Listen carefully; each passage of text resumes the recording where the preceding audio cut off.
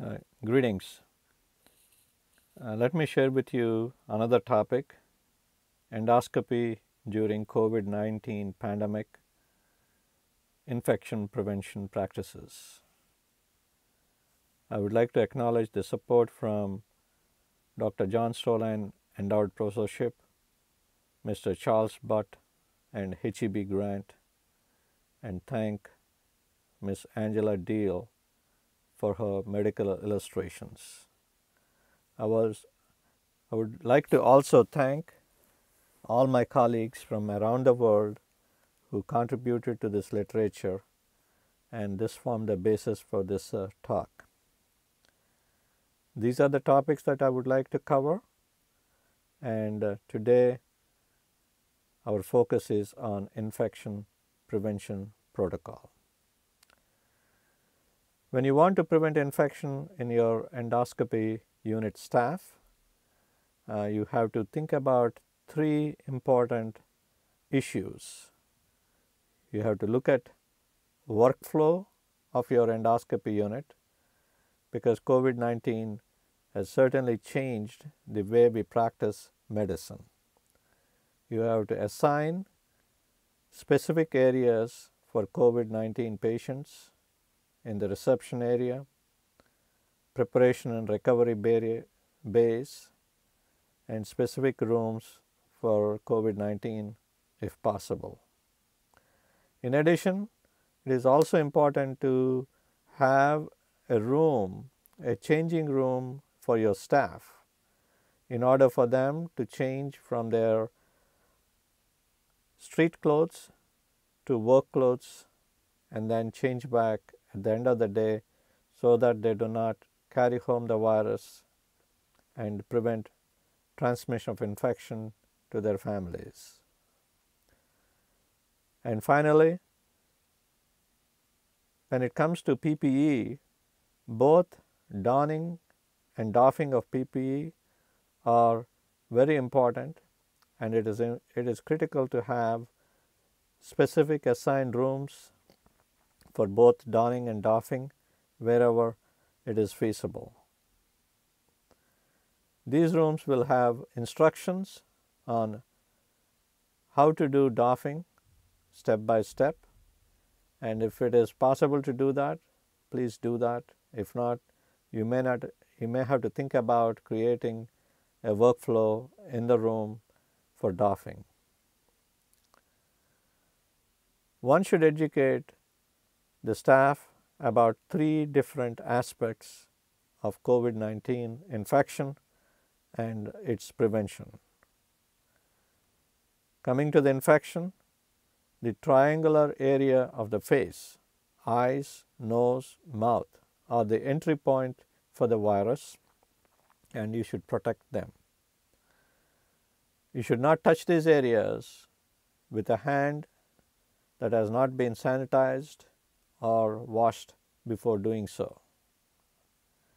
When it comes to hand hygiene, most of us do cursory hand hygiene and with COVID 19 we should take it seriously. We should do that before touching face, eyes and nose, before and after contact with patient, before donning PPE and before every step of doffing PPE. Finally, about wearing proper PPE for the type of case that you are going to encounter and proper doffing of PPE. And uh, doffing of PPE, people can make mistakes and one should practice proper doffing. In order for proper doffing to happen, it is a good idea to have clearly laid out instructions along the wall with stations for removal as well removal of uh, various items as well as hand hygiene between those steps. So, let us focus on hand hygiene. This is really very important. It is not just about washing your hands for a few seconds. There is a sequence that you need to follow and let me take you through step by step. hand hygiene with the use of soap.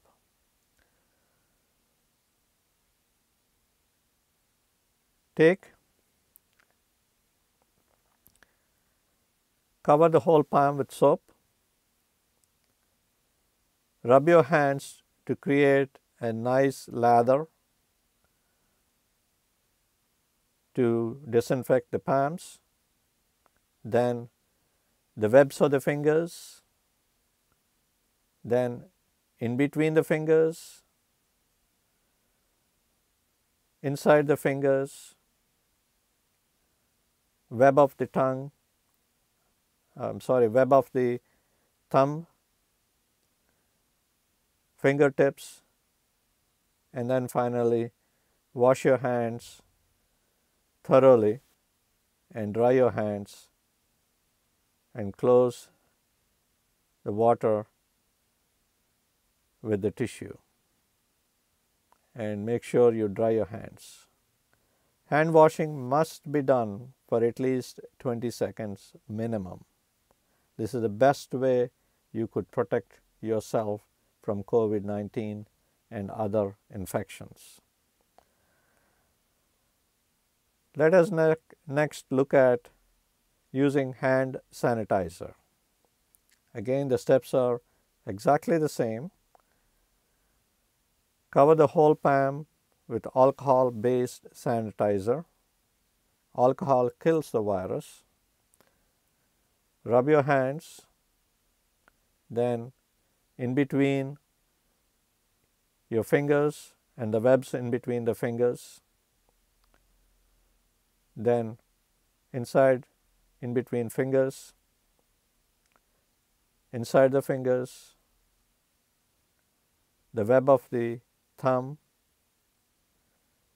fingertips, and finally dry your hands.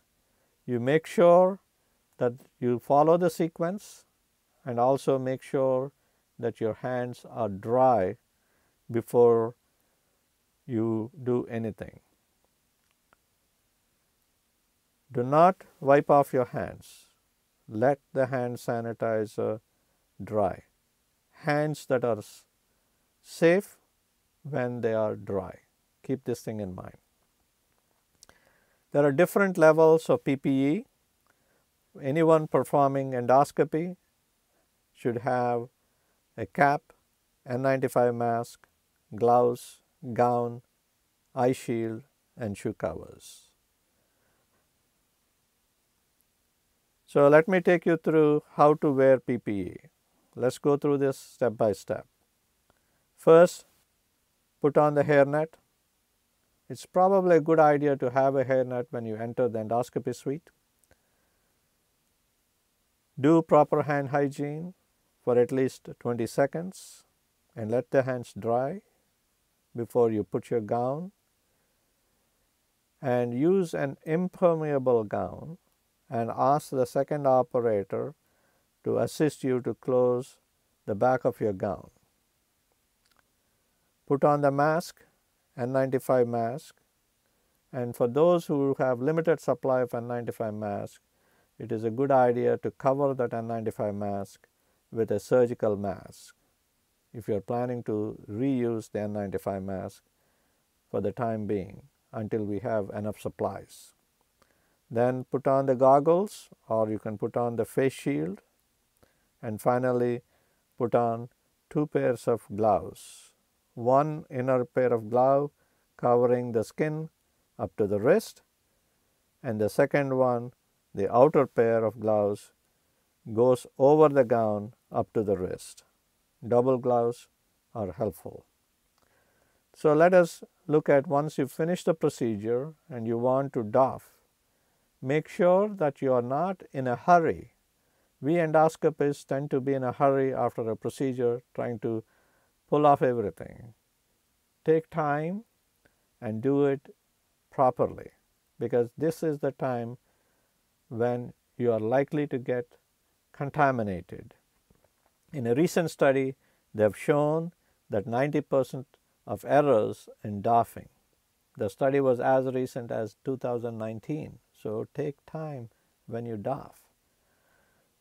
So, if you have a gown that is tied on the back, uh, take the help of a second operator or assistant to remove the gown and you remove the gown from inside out. Then uh, remove the first pair of gloves and then perform hand hygiene. Remove the second pair of gloves, perform the hand hygiene again before exiting the room. Wear a new pair of gloves after exiting the room and hand hygiene. Then clean a surface with a disinfectant germicidal wipe where you want to place your face shield. Perform hand hygiene, then remove face shield by grabbing the elastic in the back. Do not touch the front of the face shield. That area is contaminated. Use a germicidal wipe to disinfect the face shield before putting it on the surface. Then remove the gloves and again perform hand hygiene. As you can see, hand hygiene after every step is critical. And then remove the surgical gloves without touching the front of the surgical. Uh, then remove this surgical mask without touching the front of the surgical mask by hooking back the ear loops and then pulling off your face. Perform hand hygiene and then remove the N95 mask. Do not touch the front of the N95 mask. We get used to doing that, but do not do that. Instead, pull off the elastic straps one by one, the lower one first and then the upper one uh, so that you pull it off and avoid contamination. If you decide to reuse the N95 mask, uh, put them in brown bags with your name and then perform hand hygiene again.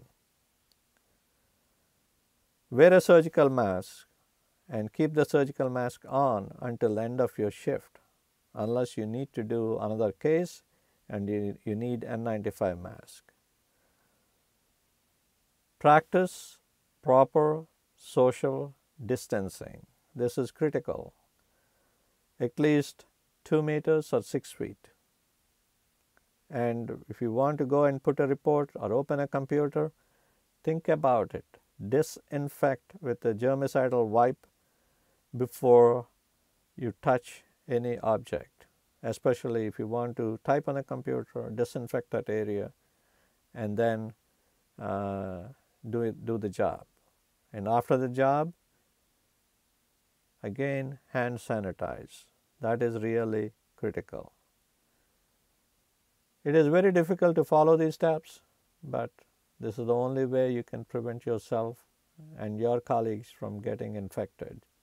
Infection prevention practices are really very, very important. Be safe. Thank you.